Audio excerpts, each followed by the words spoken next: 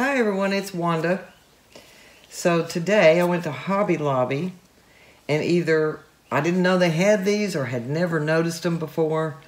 They are Anita's brand metallics and this is amethyst. This one is a pearl metallic and it's a pearl pink. It is so pretty. And this is a pearl metallic in pearl blue, it says, but to me, it looks green. so I don't know if they got the wrong label on it or what the deal is with that. But here they are mixed up. That looks like a light mint green to me. Beautiful pink. I love pearls. I love them so much. And the amethyst color. Now, I have not put any water in these, but they have set for just about an hour because I was expecting a phone call, so I didn't want to start the video. So I think this one, this one may be a little thicker. And so I'm going to add a couple drops of water, just a little bit. I didn't think to check that before I started the video, or I would have. I think I'm going to do another waterfall pour. So, I think I want the purple on top. So I'm going to start out with the green, put the pink on top of it. I'm not going to do two layers. I'm only going to do one this time. So I'm going to start out with the green. Put the pink on the top of that.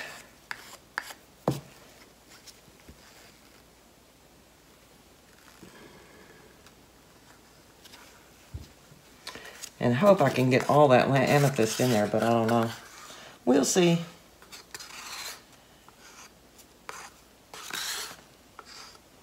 I only mixed up a little bit out of the bottle, so I didn't mix the whole bottle.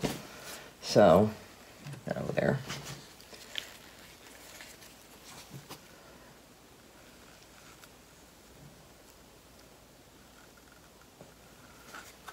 This is going to fill my cup up. So I estimated pretty good on this one.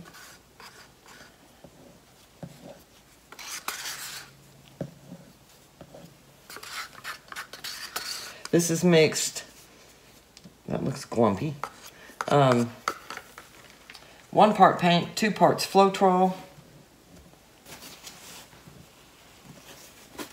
No water, except for in that lavender amethyst color that I just did.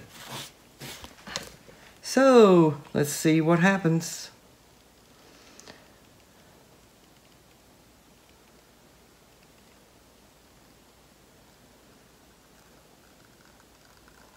Dumped a whole lot out at one time there. As you can tell, it's a little thicker than last time. It's not running as fast.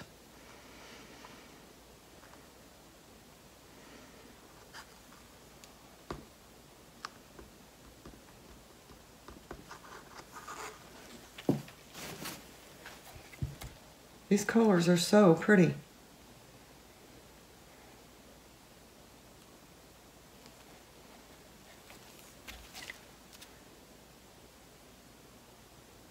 See some air bubbles.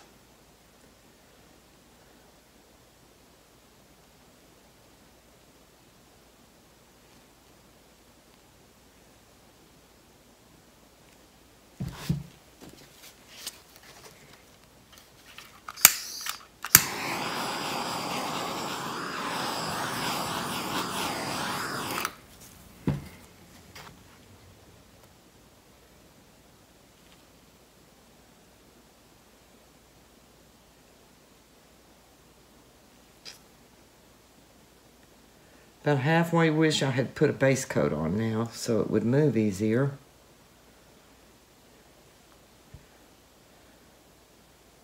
I know I do want to keep some of this. That's gorgeous. So,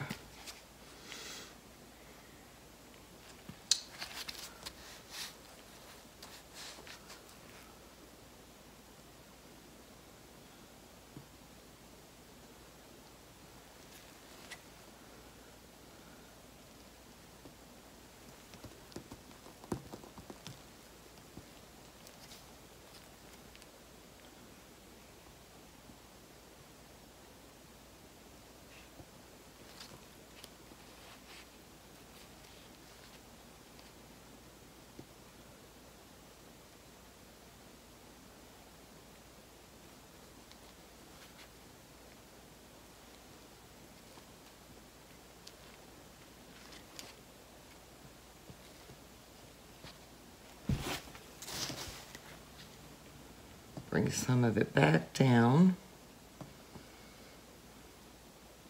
Oh, this is gonna blend out so pretty.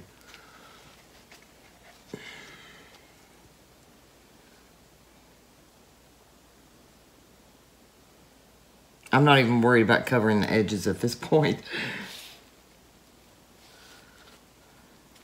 I just want to get the top covered.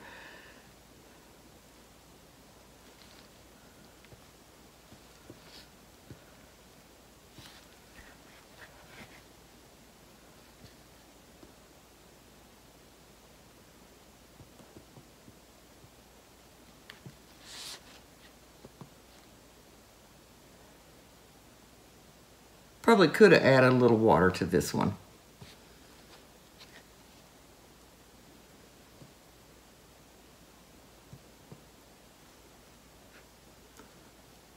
Since I had never used them before, I really didn't know how they were going to act.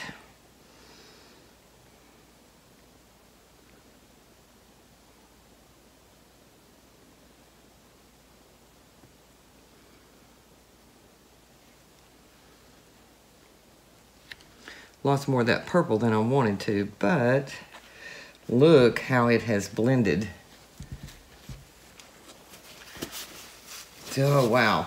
I'm gonna have to paint something on that that's super pretty. After it dries, I hope it dries good. I think I can go around and repair my sides. Looks like I've got enough dripping over that I can. So, let me know what you think. I think this is gorgeous. I may be using some more of these in the future. Just absolutely beautiful. So, that's exciting to me. I hope it is to you all. I really like this one. If I blend that pink and that lavender a little bit, I'm not too worried about it. So, now we know. Um, I think the way it blended, and now I'm getting some little uh, cell action going on there. This would look so pretty resined, it would knock your eyes out. And especially if you actually did it like a resin pour where you put in your resin and put some of the paint in there. So if you do resin, you might want to consider trying some of this paint because this is so pretty.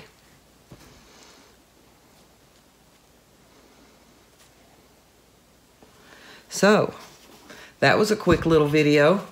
Thank you so much, and I'm getting new subscribers, and I appreciate the new subscribers. Thank you so much for subscribing to my channel. And uh, please, I invite you to come back, spend a little time with me. Sometimes they're short videos, sometimes they're longer. But um, it's always an experiment. It's always fun. I love this. Look at this. That is so cool. I'm loving this paint. So thank you so much for joining me, and I invite you to come back and join me again in the future. I'll um, give you a close-up of it, and I may post this tomorrow after it's dry, so I have a dry picture of it. So thank you. Turn the overhead light off so we wouldn't get that big glare. So here's how it looks, and the way it blended. The colors all in and it is so pretty. And you know, there's not very many bubbles in this. So I think that maybe that green kind of had some lavender up underneath it because now it looks like it's starting to come through in cells. And I mean, it's only been like a minute. So I hope it doesn't just take the whole thing over. But like right up in here, oh wow, I love that. That is so cool. And in here, and that's not quite as bright as it looks in the camera.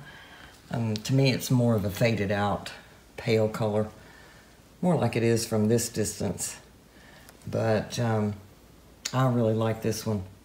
I think this is super cool.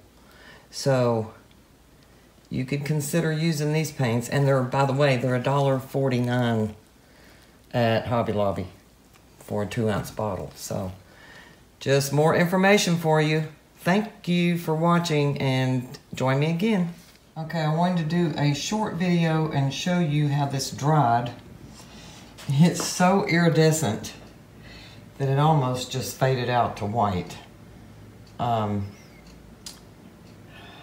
I'm just a little surprised at how much iridescence there is in there. Especially with them being cheap paints. So now I'm wondering if I could use them and add some more matte color to it and spread that iridescence out a little bit and increase the color depth. But something more to experiment with, that's for sure. It's pretty, but to me it faded out and then the iridescence came to the top and made it even more faded out. So, that's how it looks today with it dry. Thanks for watching. It really does have a lot of shine to it. As you can see, that's with the light coming in the door, reflecting on it. So, that's how it turned out.